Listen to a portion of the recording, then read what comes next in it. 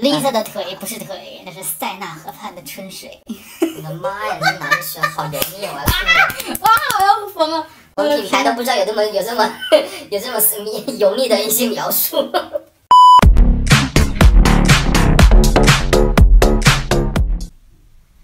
Hello，大家好，我是你们设计师小文。上一视频主要讲了 Hedy Slimane 他在进入 Celine 之后做的一系列改动，然后今天请到了一个我的好朋友，然后也是内部人员。今天哎，我先介绍一下，这是我的朋友，是米兰王曼妮。就很不想承认我是王曼妮，我真的不贴鞋底，谢谢。嗯，你的鞋子是特卖会买的，便宜的很。因为我们都是穷人，所以只能买特卖会的。就是就是我们是米兰穷鬼，米兰的贫民窟少女，好吧？贫民窟少女，对。我要给我的朋友打个码，他因为一个是在职人员，而且 我怕被举报，主要是真的，就容易被那个被开除，因为现在就就嘴太坏，讲了一也不是把门的，讲了一系列。对，我就我就我这人比较诚实，就是想把这最真实的一面展现给大家，但是觉得 太诚实有时候容易容易惹来杀身之祸，我怕被开除。这年头这年头找工作比较难，真的，这条活路。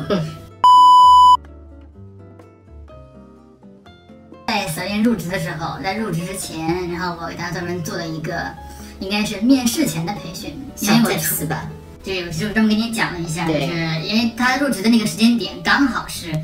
换司令换新设计师，主要是我就是一个职场小白，因为我入职就是去司令之前上班，我是没有任何销售就是奢侈品销售经验，所以我去司令就是面试的这个事情呢，我非常的紧张，所以我连夜打电话问他，就询问了我们米兰设计师。但我其实觉得哈，补充一句，因为我后来就是后来就是自己可自自我学习的过程当中，发现其实。就是新冷淡风格，就是 Phoebe Philo 这个风格已经差不多。因为你正好赶上那个 Phoebe 的最后一季，对，入职的时候还有 Phoebe 最后一季，对，就是其实 Phoebe Philo 他的那个风格已经红了大概有五年吧，真正红有五年。然后，但是我觉得，因为 Phoebe 在 Phoebe Philo 在 Celine 做了有十年了，所以包括他一开始来 Celine 的，其实销售业绩并没有那么好。就是 Phoebe 的早期作品在 Celine，因为我除了做设计师，我也做买手，就是我帮国内的。电商平台或者是买手店，每年会固定订货。其实包卖的很好，但是成衣真的很难，因为一个是很贵，一个是很难穿。对，特别挑人，因为你知道菲比的衣服、裤子都是差不多腿长两米的女孩吧？就是我感觉我们俩还能穿，我们俩身高还能还能厚一下。我觉得我的肚子放不下，可能我要去加入杨天真的大码女孩吧。这个。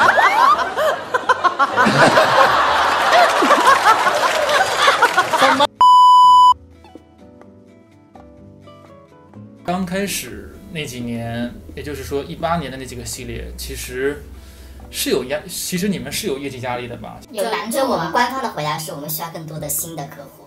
嗯。对 我们需要更多新的客户，就是因为既然是新的设计师，肯定是有新的客户群体，所以啊，对于老的客客户群体，我们依然有一些呃，就是一些经典的一些包款的，比如说笑脸包、鲢鱼包，包括一些豆腐包，在在在内包括一些呃水桶啊，都是一直有在线上销售，但是我们依然有一些新的作品来吸引新的客户，这是我们的官方回答。官方。嗯呃，是这样，我先补插一句，呃，好多品牌其实生意是分两部分的，一个是批发生意，一个是零售生意。就是品牌有自己的垂直零售，也就是实体店，他们的那个 boutique。但其实很多品牌也都是依赖一部分的批发生意，就是买手店啦。所以说这是两个部分。那对于我从买手经验来说，我们接收到的这个客户的直接反应还是要之前的。而且我记得他那个最新，他刚出那个包，就是 Lady Gaga 带货的那个，啊，十六，十六，sis，就是那个包，就是反应很平，反应非常平。你知道为什么吗？就因为这个包太 lady 了，所以我才是叫叫 Gaga 来带货，但是 Gaga 也带不动。过于前沿，而且他的个性太明显了，就是他反而没有带货能力。就特别喜欢你们家最近的那个代言人 Lisa 人间芭比，哎，是。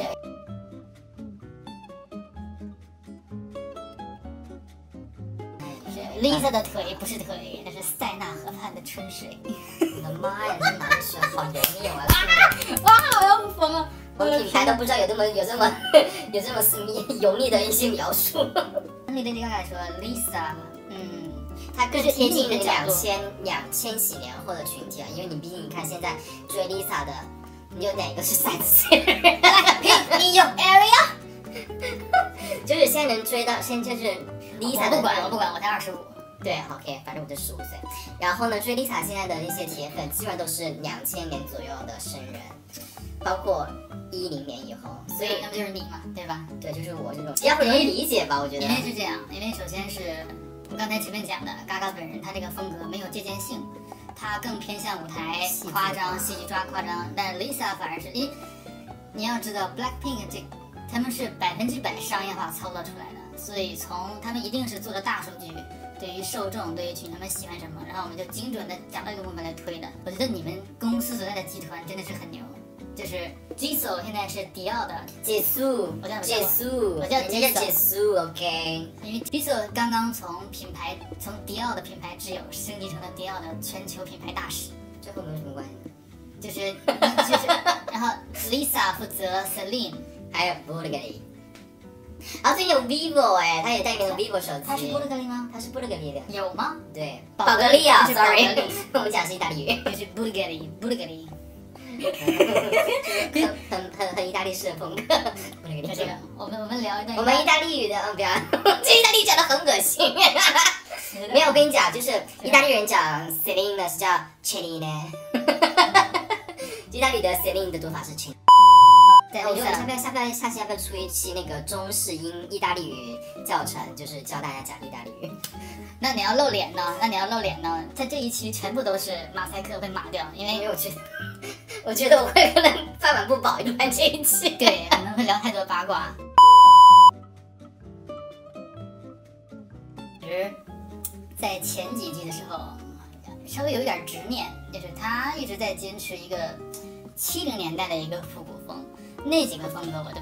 我个人来讲，作为一个脑残粉，作为他从两千年初，也就是二十年前，他刚做迪奥男装的时候，迪奥就是他脑残粉。没有别人说迪奥男装教会男人穿衣服，迪奥男装是开创了一个全新的风格，嗯，以前都是什么 Tom Ford 那种油腻的，要开胸开到那个肚脐眼儿那种类型的，你就因为那个是你知道吗？